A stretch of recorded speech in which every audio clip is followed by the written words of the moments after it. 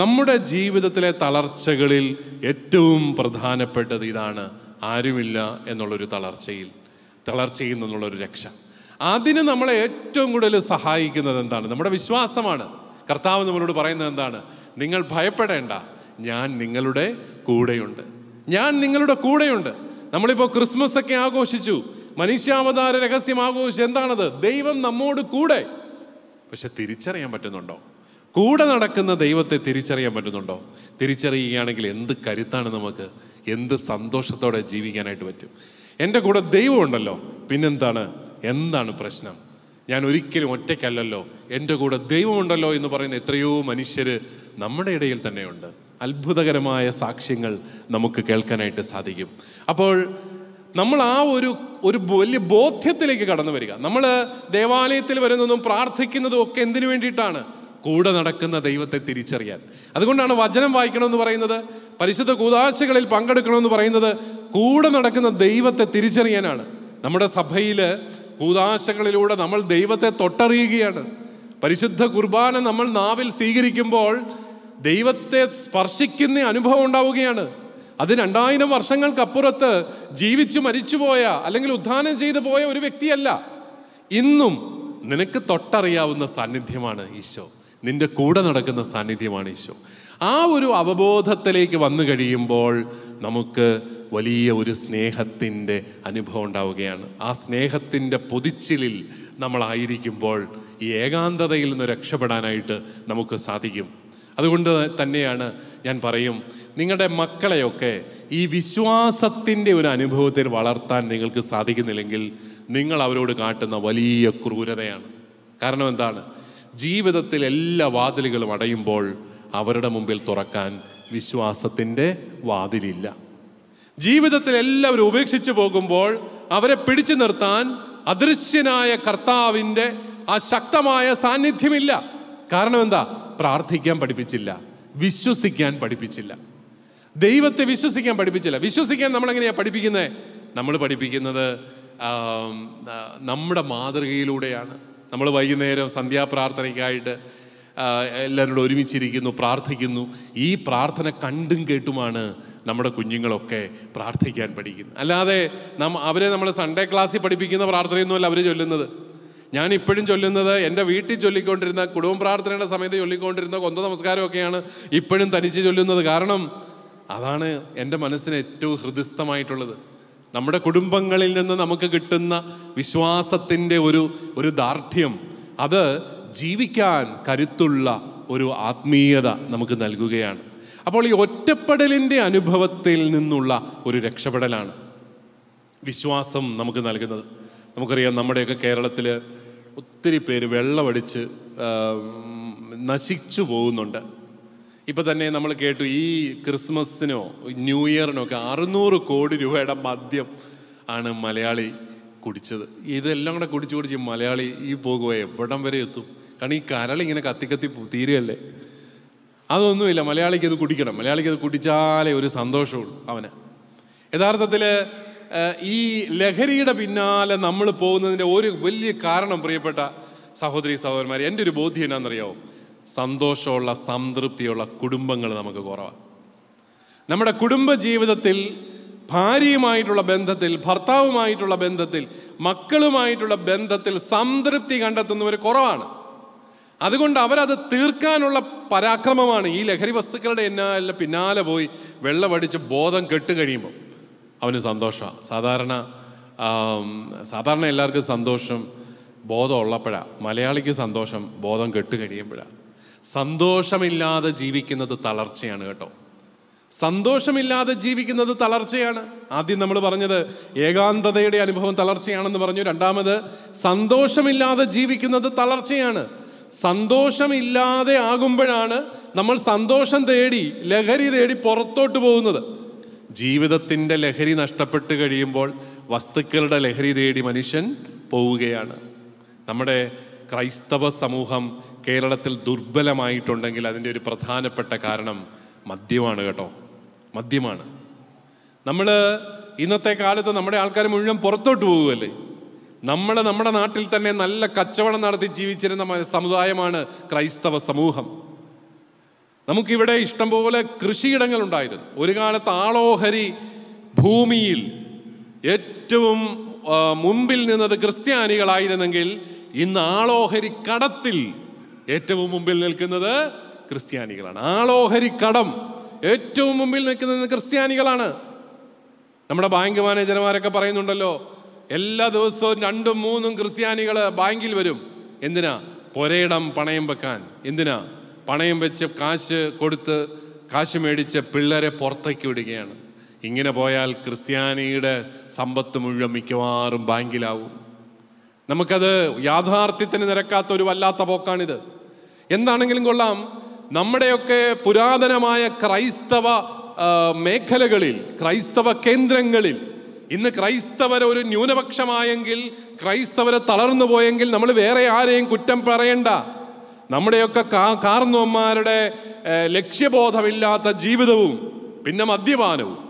വെള്ളമടിച്ച് വെള്ളമടിച്ച് കുടുംബം കടപ്പെടുത്തി പണയപ്പെടുത്തി നശിച്ചുപോയ ക്രൈസ്തവ പുരാതന ക്രൈസ്തവ കുടുംബങ്ങളുടെ എണ്ണം എത്രയെത്രയാണ്? അതാണ് ക്രിസ്ത്യാനിയുടെ ശക്തി വളരെ വലുതാണ്.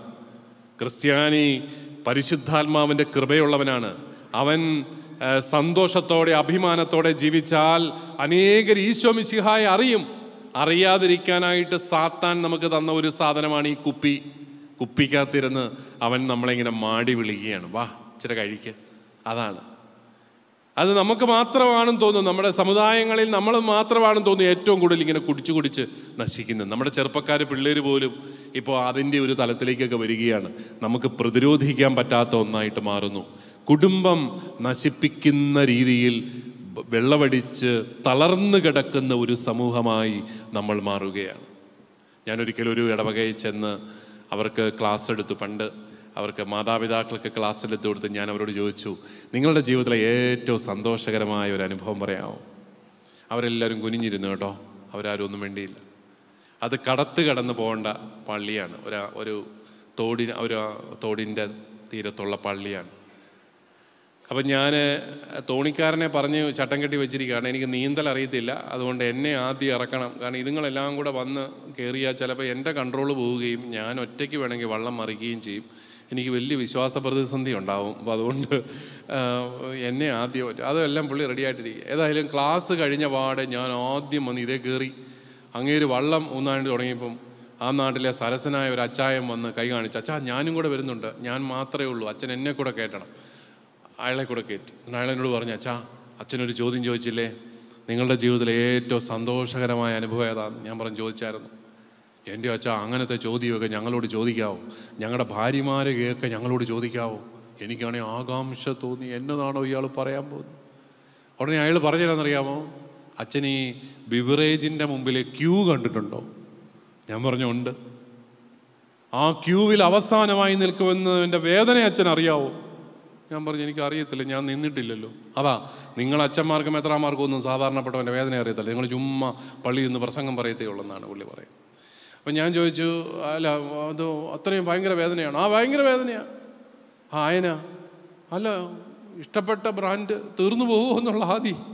അതിൽ അവൻ പോ അങ്ങനെ അവസാനം വേണ്ടി നിൽക്കുക. അച്ഛാ അവൻ അവിടെ നിന്നുകൊണ്ട് എത്ര എത്ര കൊന്തയൊല്ലുമെന്ന് അച്ഛനറിയാവും? ഞങ്ങൾക്ക് ഈ കൊന്ത നമസ്കാരം ഉണ്ടല്ലോ.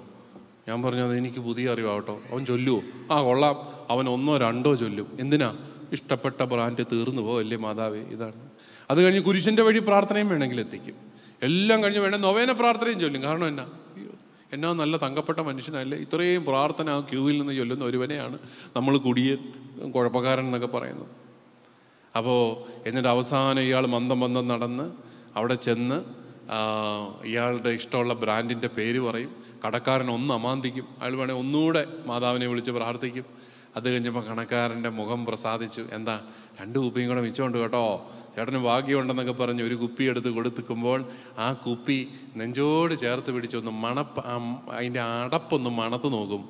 അന്നേരമുള്ള സന്തോഷമുണ്ടല്ലോ. അതാണ് ലോകത്തിലെ ഏറ്റവും വലിയ സന്തോഷമെന്ന് ഇയാളെന്നെ പറഞ്ഞു പഠിപ്പിക്കുകയാണ്. അതാണ് ഈ നമ്മുടെ മലയാളികളുടെ ഒരു പ്രത്യേകത. നമുക്ക് കുടിക്കുക പോലും വേണ്ട. ഈ കുപ്പി പണത്താൽ മതി എന്നാണ് പറയുന്നത്. അതായത് നമുക്ക് ബോധം ബോധം കിടണം എന്നാലേ നമുക്ക് സന്തോഷമുള്ളൂ. അതാണ് നമ്മുടെ അവസ്ഥ. അങ്ങനെ അങ്ങനെ നശിച്ചു പോകുന്ന തളർന്നു കിടക്കുന്ന ഒരു സമൂഹമല്ലേ പ്രിയപ്പെട്ടവരെ. എനിക്ക് ക്രൈസ്തവ സമൂഹത്തെക്കുറിച്ച് തോന്നിയിട്ടുള്ളത് ഇൻഡുപ്പാപ്പയ്ക്ക് ഒരു ആനയുണ്ടായിരുന്നെന്നൊക്കെ പറഞ്ഞ് നമ്മൾ ചുമ്മാ ഇരിക്കുക ചരിത്രമൊക്കെ പറഞ്ഞു. എന്റെ വല്യപ്പന്റെ അപ്പൻ എന്നൊക്കെ പറഞ്ഞുകൊണ്ടിരിക്കുക. അങ്ങനെയൊക്കെ പോയി. ഇപ്പം നിങ്ങൾ നിങ്ങൾ എന്നാ? അമ്മയ്ക്ക് പിള്ളേരും ഇല്ല ഉള്ളവരോ ഉള്ളവരിവിടെ ഇല്ല. അങ്ങ് ദൂരെ കണ്ട എന്നാൽ അങ്ങോട്ട് പോരുതോ? അങ്ങോട്ട് പോയി. അവിടെ എങ്ങനെ ജീവിക്കാൻ. അവിടെ ആ വീട്ടിനകത്ത് അടഞ്ഞിരിക്കണം പിന്നെ ഞങ്ങളിങ്ങ് പോകുന്നു. ഒറ്റയ്ക്ക് ജീവിക്കുകയാണ്. ഒറ്റയ്ക്ക് ജീവിക്കുന്ന അവസ്ഥയാണ്. അതാണ്. നമ്മുടെയൊക്കെ നമ്മൾ ആ രീതിയിൽ നോക്കിയാൽ തളർന്നുകൊണ്ടിരിക്കുന്ന ഒരു സമൂഹമാണ്. നമ്മൾ തിരിച്ചറിയുന്നില്ല ഇത് നമ്മളിപ്പോഴും പള്ളിയും പെരുന്നാളും വെടിക്കെട്ടും ചെണ്ടമേളവും ഒക്കെ നടത്തി അങ്ങനെ ഗംഭീര പരിപാടിയായിരുന്നു കേട്ടോ എന്നൊക്കെ പറഞ്ഞ് നമ്മൾ ചുമ്മാ അങ്ങ് പോവുക. അടിസ്ഥാന കാര്യങ്ങളിൽ ശ്രദ്ധിക്കാൻ നമുക്ക് പറ്റുന്നില്ല. നമ്മുടെ മക്കളുടെയൊക്കെ വിവാഹപ്രായം എല്ലാം കണ്ടമാനം കടന്നുപോയി. തളർന്നുപോയ ഒരു സമൂഹമല്ലേ നമ്മൾ. ഇപ്പം വലിയ ചെറുപ്പക്കാരെ നമ്മുടെ ഇടയിലെ ചെറുപ്പക്കാർക്ക് ദമ്പതികൾക്ക് മക്കളില്ലാത്ത അവസ്ഥ എത്രയോ പേർക്ക്. കാരണം എന്താ? എല്ലാ കണക്കൂട്ടലുകളും നടത്തി മുപ്പത്തിയാറാമത്തെ വയസ്സിൽ അവൻ പെണ്ണ് കെട്ടി. ആ ഇരുപത്തൊമ്പത് വയസ്സുള്ള പെണ്ണിനെയാണ് അവൻ കെട്ടിയിരിക്കുന്നത്. അവസാനം പിന്നെ മെഴുകുതിരിയുമായിട്ട് നടക്കുകയാണ് എല്ലായിടത്തും. കൊച്ചുണ്ടാണേ കൊച്ചുണ്ടാണേ എന്ന് പ്രാർത്ഥിച്ച്. അതായത് നമ്മൾ നമ്മുടെ മക്കൾക്കൊക്കെ കൊടുക്കുന്ന ഒരു ഒരു ശിക്ഷണവും ഒരു ദിശാബോധവും പ്രത്യാശയിലേക്ക് അവരെ നയിക്കുന്നില്ല. തളർന്നു കിടക്കുന്ന ഒരു സമൂഹത്തിന്റെ സർവലക്ഷണങ്ങളും നമ്മൾ കാണിക്കുന്നുണ്ട് എന്ന് നമ്മളൊന്ന് തിരിച്ചറിവ് ഇപ്പോഴെങ്കിലും ഉണ്ടായാൽ പ്രിയപ്പെട്ടവരെ രക്ഷയുണ്ട് കേട്ടോ. ഇപ്പോഴെങ്കിലും ഉണ്ടായാൽ. ഇനിയും ഇനിയും വൈകിപ്പോയാൽ നമ്മൾ തീരും കേട്ടോ. കാരണം നിങ്ങൾക്കറിയാമല്ലോ പതിനാല് ശതമാനം ജനന നിരക്കും പത്തൊമ്പത് ശതമാനം മരണനിരക്കുമുള്ള ഒരു വിചിത്ര സമൂഹമാണ് കേരള ക്രൈസ്തവ സമൂഹം. പതിനാല് ശതമാനം ജനന നിരക്കും പത്തൊമ്പത് ശതമാനം മരണനിരക്കും ഈ പോകുവായ ഈ പള്ളിയിലൊക്കെ ഇരിക്കാൻ ആര് കാണും? കുറച്ച് നാൾ കഴിയുമ്പോൾ. അതെല്ലാം നമ്മൾ ചിന്തിക്കണം. നമുക്ക് അങ്ങനത്തെ ഒരു ചിന്തയില്ല. അതാണ് നമ്മുടെ ഏറ്റവും വലിയൊരു പ്രശ്നം. അതുകൊണ്ട് തളരുന്ന ഒരു സമൂഹത്തിന്റെ ഒരു ഒരു ലക്ഷണം അതായത് പ്രത്യാശിക്കാനായിട്ടൊന്നുമില്ല. നമ്മൾ വ്യക്തികൾ എന്നുള്ള നിലയിൽ സന്തോഷമില്ലാതെ ജീവിക്കുന്ന അവസ്ഥ. ശരിക്കും നമ്മുടെ കുടുംബജീവിതത്തിലൊക്കെ സന്തോഷം അനുഭവിക്കുന്ന എത്ര പേരുണ്ട്? സന്തോഷമായിട്ട് ജീവിക്കാൻ പറ്റുന്ന എത്ര പേരുണ്ട്? അതൊക്കെ നമ്മൾ ചിന്തിക്കേണ്ടതാണ്. ഒരുമിച്ച് കൂടി വർത്തമാനം പറഞ്ഞ് ഭക്ഷണം കഴിക്കുന്ന എത്ര കുടുംബങ്ങളുണ്ട്. ഞാൻ എല്ലാ പ്രഘോഷണങ്ങളിലും ഞാനത് ആൾക്കാരോട് ചോദിക്കാറുണ്ട്. കാരണം ഇതൊക്കെയല്ലേ പ്രിയപ്പെട്ടവരെ ഏറ്റവും പ്രധാനപ്പെട്ട കാര്യം. നമ്മൾ ഈശോയിൽ വിശ്വസിക്കുന്നു എന്ന് പറയുകയും നമുക്ക് വീട്ടിലൊന്ന് ഒരുമിച്ച് കൂടി സ്നേഹമായിട്ട് ഒരു ഇച്ചിരി വർത്തമാനം പറയാൻ പറ്റാതിരിക്കുകയും ചെയ്യുന്ന അവസ്ഥ അതെന്തോ ഒരു അവസ്ഥയാണ്.